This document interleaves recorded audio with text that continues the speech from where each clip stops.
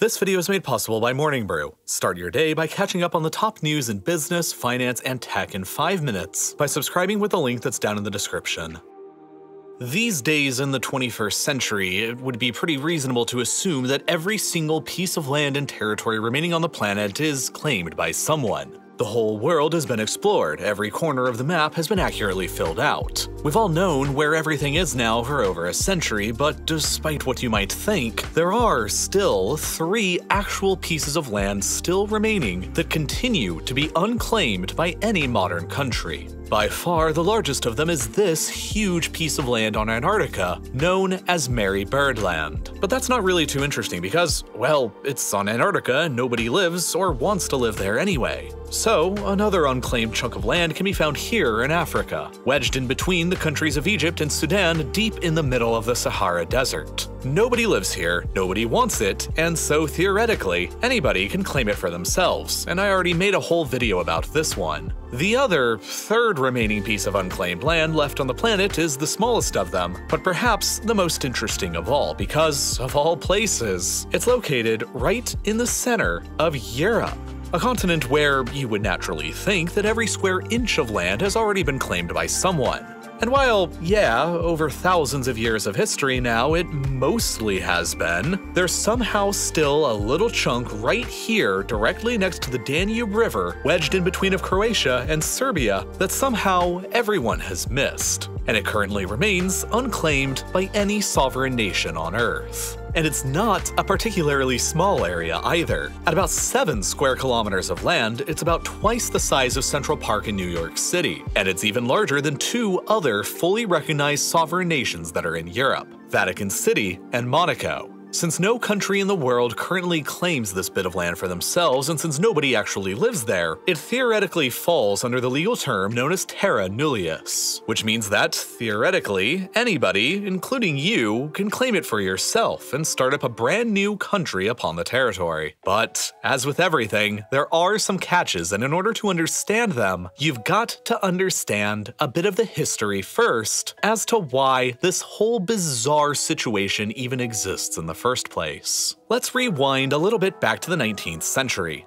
Back then, this area and the whole area around it was all controlled by the Habsburgs and then the Austro-Hungarian Empire, which means that, surprisingly, the British are for once not actually to blame for this whole mess up today in the modern world. Back then, as today, the land on either side of the Danube River here was inhabited by Croats in the west and Serbs in the east. But it was the Austro-Hungarian government itself based in Vienna and Budapest that designed the municipal boundaries between them. To be fair, they did a pretty good job as these boundaries just simply followed the course of the Danube River as it was back at the time. The problems only began developing later when the Austro-Hungarian government decided to try and straighten up the Danube through various hydraulic engineering projects in order to make the river more easily navigable. While they succeeded in making the river easier to transport goods across, they unwittingly created a territorial dispute between the future countries of Croatia and Serbia. Because eventually over the decades,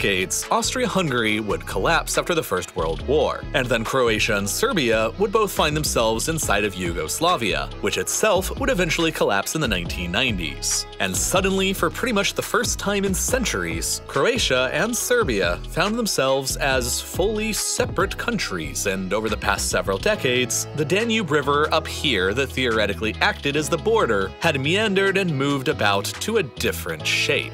Now, while they were both part of the same country, this didn't really matter too much. But now that they were both independent of each other, it suddenly did matter a lot. You see, as the Danube meandered and straightened, it gradually did so in a way that left 100 square kilometers of land over on the eastern side in what would theoretically be Serbia in all of these locations. Well, it only left somewhere between 10 and 30 square kilometers of land on the river's western bank, concentrated in these three really insignificantly tiny pockets, and the land that nobody claims up here, which all theoretically belong to Croatia. So, naturally, Serbia has insisted that the modern boundary between themselves and Croatia is still the Danube River itself, as it is today. Meanwhile, Croatia insists that the boundary is the historical course of the Danube River as it was more than a century ago, back in the 19th century, when the municipal boundaries were first drawn up, regardless of how the river has changed today.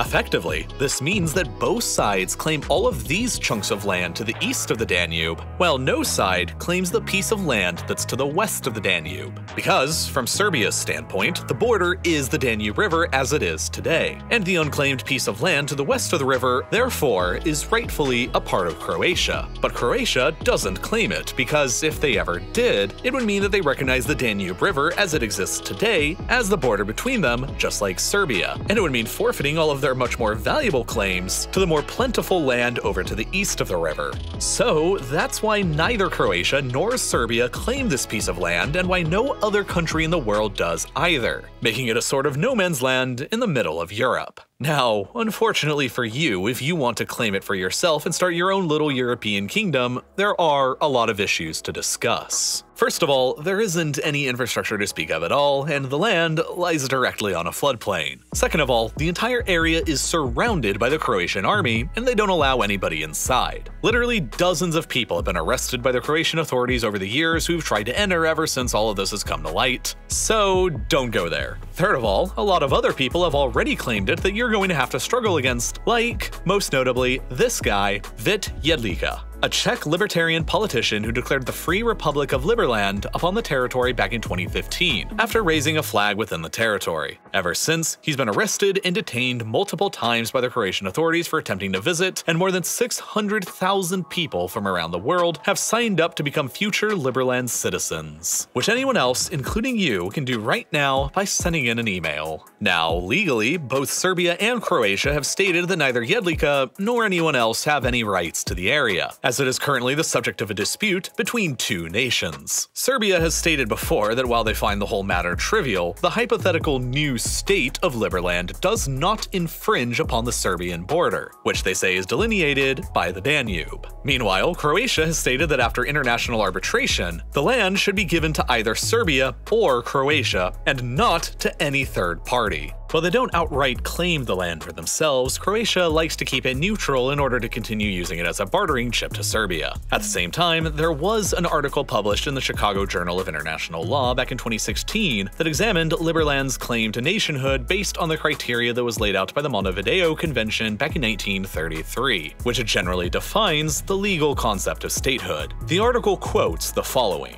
Croatia's insistence that Liberland is a part of Serbia could constitute a renunciation of Croatia's own legal rights to Liberland. Conversely, if the territory that Liberland claims as its own is Serbian, then the Serbian government's renunciation of its title to that land could also be a situation that would transform the legal status of the land to terra nullius. In both of these instances, the territory would belong to the first entity, in this case Liberland, to claim it. However, because of the complicated history of the Croatian-Serbian border region, it may be difficult to ascertain who the land actually belongs to under international law.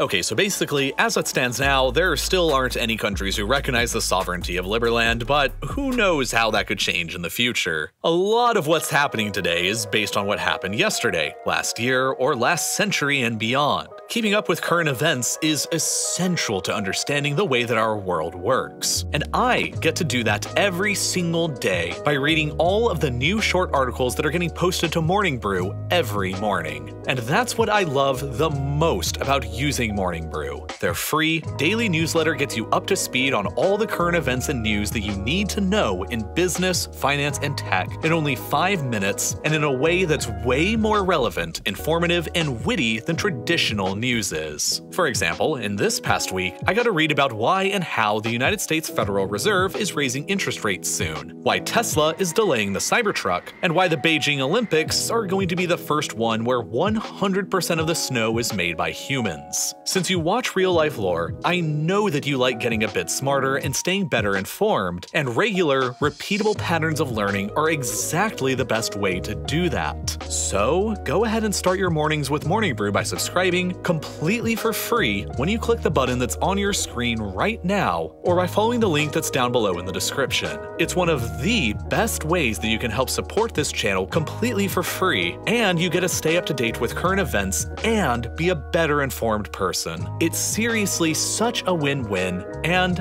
as always, thank you so much for watching.